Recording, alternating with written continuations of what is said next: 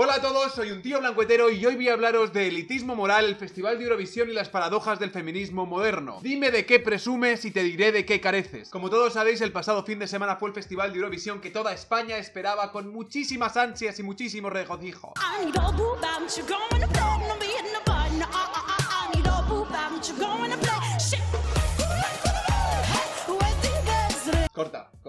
Ver, voy a ser franco con vosotros. A mí el Festival de Eurovisión es que no... Ah, no es mi estilo, no es mi rollo. O sea, yo no me identifico con eso, no. La música que hay, el ambiente, el rollo este de los votos eurovisivos. Me, me suda un poco los huevos, ¿para qué nos vamos a engañar? Pero este año era especial, ¿por qué no? Porque desde España Llamamos a los chicos estos, a Maya y a Alfred, y, el caso es que España pues no ganó. Una lástima porque todo el mundo había invertido mogollón en Amaya y Alfred, que son como estos chavales así jovencillos que para mí son el paradigma de la cultura báspido. Yo he estado siguiendo un poco lo de Operación Triunfo este año, salvando las distancias, y son detallitos, detallitos como este, ¿no? El gesto feminista de Amaya se pinta el vello en las axilas. La cantante protesta contra el Photoshop de las revistas. Reivindica así que ella tiene pelo en el cuerpo y lo pinta con rotulador en las imágenes. Pues eso. Amigas, donde hay pelo hay alegría. Lo cierto es que para mí Amaya y Alfred da la sensación de que son las dos nuevas mascotas de la izquierda cool. Y me da esta sensación porque si no nos explica que representantes políticos como Íñigo Errejón tuiteen cosas como esta. El otro día Jordi Évole me preguntaba sobre la importancia de OT. Alfred y Amaya y sus compañeros son referentes de un sentido común de la época y de una generación que quiere cooperación, solidaridad e igualdad son el reflejo del país que viene. Está muy bien ir a Europa a representar a Eurovisión y nuestra cultura, pero también estaría bien ir a representar la solidaridad. En nuestro país solo cumple con un 11% de la tasa de refugiados que tendría que, que cumplir y la verdad es que da un poco de vergüenza. Estamos en una sociedad machista, o sea, pero esto es así, tampoco estoy, o sea, no estoy como atacando a nadie, esto es así, o sea, si alguien se siente ofendido, pues, o sea, también me incluyo a mí, yo también soy machista, todos lo somos, todos tenemos cosas que no nos damos cuenta, pero es así, entonces eso es lo que hay que intentar cambiar. Ah. Recuerdo con nostalgia cuando desde la izquierda intelectual se despreciaba el modelo de reality show y se tenía esta percepción como de la caja tonta y del producto idiotizante de masas. Pero ahora no, ahora parece que la izquierda como que ha espabilado, ¿no? Y ha entendido que estos chavales pueden ser pues un buen vehículo para hacer propaganda ideológica. Parece que con el auge de los identitarismos y la cultura BuzzFeed, los adolescentes de reality molan mogollón y son adalides del sentido común y del pensamiento crítico. Gente en general en la que está bien que se proyecte nuestra juventud. Son cosas como esta las que ayudan a explicar el malestar en la izquierda y las prioridades de su agenda política.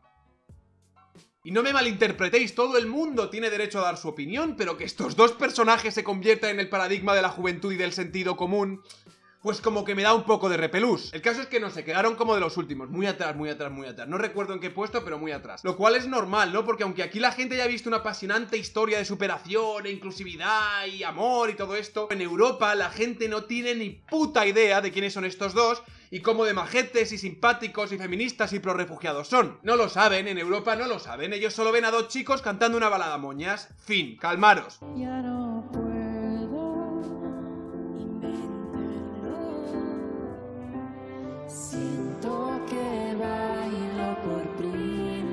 Es que, es que no es mi rollo. Es que no ya he dicho que no es mi rollo Eurovisión. Pues eso, que al final nuestros chicos no ganaron y la que lo acabó petando fue esta mujer con un cosplay de Chun-Li versionando a la gallina turuleta.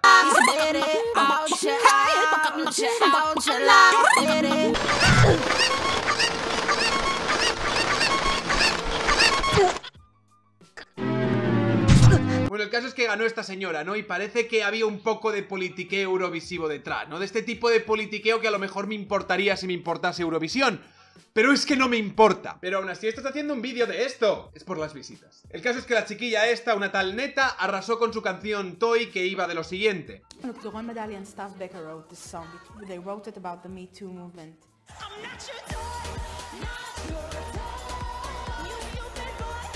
It's an amazing time when women are finding their voices, uh, but I think it's an empowerment song in general. I remember uh, myself being in a wedding band, and I remember brides seeing my picture. I heard them on the phone. Don't you have a different singer? don't you have a better looking one?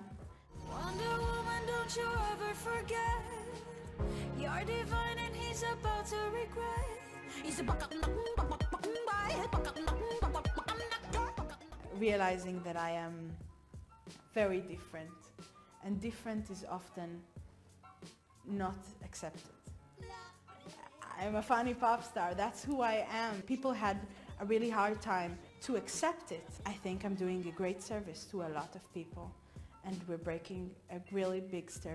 Era una canción creada para el movimiento hashtag MeToo y cuyo estribillo dice no soy tu juguete. O sea, una canción creada para la gente diferente, una canción empoderante o yo qué coño sé. Y aparte la cantaba una mujer con una belleza no normativa, como diría Leticia Dolera. O sea, era un pleno. Al final lo de la belleza no normativa es una manera un poco discreta de llamarte puto feo a la cara, ¿no? Bien, tanto el tema de la canción como la cantante, como su desparpajo y su entrega por las personas diferentes y su estilo no normativo, son cosas que deberían haber hecho el coño Pepsi Cola a las feministas y a los aliados. Más que nada porque el discurso de las feministas es prácticamente eso. Pero no, porque resulta que la tal neta esta representaba a Israel y con la iglesia hemos topado, o debería decir con la sinagoga. Ya sabemos que la izquierda enseguida se pone muy digna cuando se habla del conflicto entre Palestina e Israel. Palestina libre, pavo. Según el diario, Eurovisión brinda a Israel un lavado de cara. La victoria de Neta Barsiali con su canción Toy permite al Estado hebreo proyectar una imagen de país abierto, tolerante y moderno. El festival ejerce una cortina de humo que difumina las muertes en las marchas del retorno de Gaza y los ataques aéreos en Siria. Y no, no voy a hablar del conflicto entre Palestina e Israel porque no soy un experto en geopolítica, tengo mi opinión, pero creo que muchas veces, sobre todo cuando tienes una determinada audiencia, es más responsable callarse que decir lo primero que se te pasa por la puta cabeza o posicionarte de un lado u otro, de acuerdo a cómo encaja en tu ideología, en lugar de enfrentarte a la información de cero con un cierto sentido crítico. Y creo que el conflicto entre Israel y Palestina tiene mucho de eso, me da la sensación de que la gente se posiciona de acuerdo a lo que le dicta la cultura pop de su ideología de turno, perdiendo muchas veces matices y otras perspectivas a la hora de mirar las cosas. Pero la izquierda de Twitter lo tiene claro y no pierde una puta oportunidad, y entre todos me llama la atención los ataques a la cantante desde sectores feministas. O sea, Israel gana Eurovisión con la canción Toy, las redes reaccionan, Palestina tampoco es un juguete. O sea, la cantante neta ganadora de Eurovisión de 2018 en representación de Israel ha sido objeto de críticas e indignación en Twitter.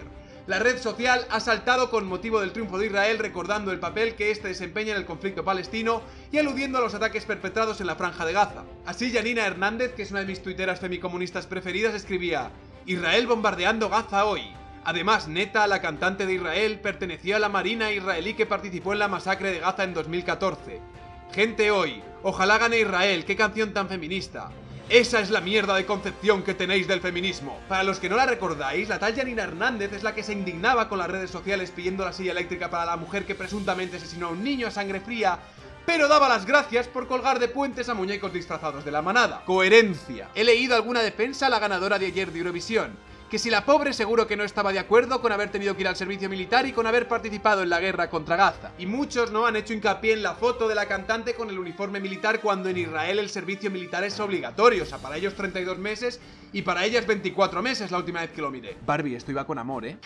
Pues eso, parece ser que si la política exterior de tu país es controvertida, desde ese momento tu persona individual queda invalidada. No puedes ser feminista y no puedes formar parte del club de los niños progress wise porque hay una barrera ética basada en tu nacionalidad que te separa de su elitismo moral. Así da lo mismo lo mucho que grites sobre feminismo, el hashtag MeToo, la inclusividad o lo poco normativo que sea tu body, que en el grupo de chicos guays postmodernos y feministas también se requiere pureza ciudadana. Antes de hablar sobre bullying o acoso, asegúrate de que la política exterior de tu país sea people friendly. No vaya a ser que te vayas a pensar que en esta izquierda colectivista y tribal aceptan a la gente por sus ideas y no por sus atributos identitarios. Porque si estabas pensando eso es que no estabas prestando atención. Entiende que si eres ciudadana de un país con una política exterior criminal y tú acabas representando ese país en un festival de música transnacional, eso te convertirá consecuentemente en una persona que apoya esa política exterior criminal y te invalidará automáticamente cualquier idea por muy friendly que sea. Y sí, probablemente Israel está usando lo que llaman purple washing o pink según la revista Macedonia, un periódico digital de información gay, lésbica, transexual, bisexual, queer y feminista, de esos que informa con perspectiva de género. El pink washing en Eurovisión por parte de Israel es una constante desde hace décadas. Por medio de candidaturas LGTB+, el Estado trata de exportar una imagen de defensa de los derechos humanos a la vez que los incumple sistemáticamente con la población palestina. Al menos, como lanza a favor por esta publicación, desde esta revista hablaban del conflicto ético y moral de querer apoyar el mensaje de la cantante en cuestión, porque es que es su puto mensaje. Pero por otro lado, ser crítico con el Estado de Israel. Y yo entiendo que la gente se escandalice porque parecería que Israel estaría usando temáticas feministas y del colectivo LGTB para hacer un lavado de cara a su política exterior. Es algo absolutamente de locos, porque algo que nunca, nunca jamás se ha visto es que los políticos se aprovechen del activismo de minorías, grupos feministas o el colectivo LGTB para hacer política. Nunca jamás había visto algo así. Es algo completamente nuevo, algo que en España somos súper ajenos a esa realidad. Es algo increíble, inaudito. Jamás se había visto. A ver, corazones, ¿cómo os explico yo esto? Vamos a ver. Eso es lo que los políticos aquí hacen todos los días. Eso es exactamente lo que estaba haciendo Íñigo Errejón sobre su tuit de Amaya y Alfred. Esa es la razón por la que los partidos políticos están apuntando a la ola feminista.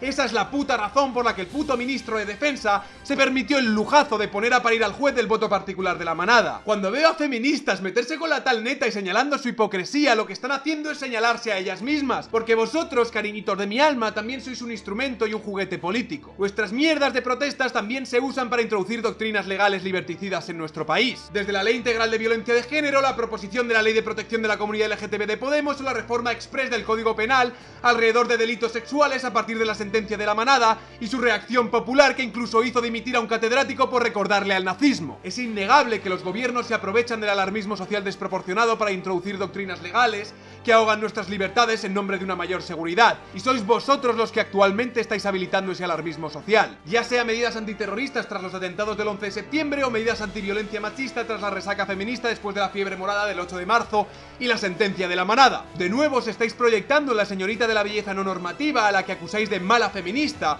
por ser un instrumento para enmascarar una determinada agenda política. Miraos en un puto espejo, por favor. Soy un tío blanco hetero, dale like si te ha gustado el vídeo, compartid y suscribiros al canal. No he hablado de toda la coña que le han dado con lo de la apropiación cultural y el vestido de Chun-Li, porque me parece que un tema como la apropiación cultural da para un vídeo un poco más largo. Y BuzzFeed LOL haciendo un vídeo sobre la brecha salarial con datos, tú. O sea, para mear y no echar gota. Y también quería aprovechar para daros las gracias a todos porque llevo tres meses y medio con el canal y las respuestas están siendo increíbles. No me lo esperaba, la verdad. Muchísimas gracias a todos. Os informo que me estoy preparando un Patreon para los que os interese y queréis colaborar, que va a ser la polla con cebolla. Y a partir de ahí supongo que empezaré a hacer más vídeos en directos, quiero hacer más colaboraciones y haré vídeos de preguntas y respuestas con mis Patreons. Y básicamente eso es todo. Un saludo y hasta otra.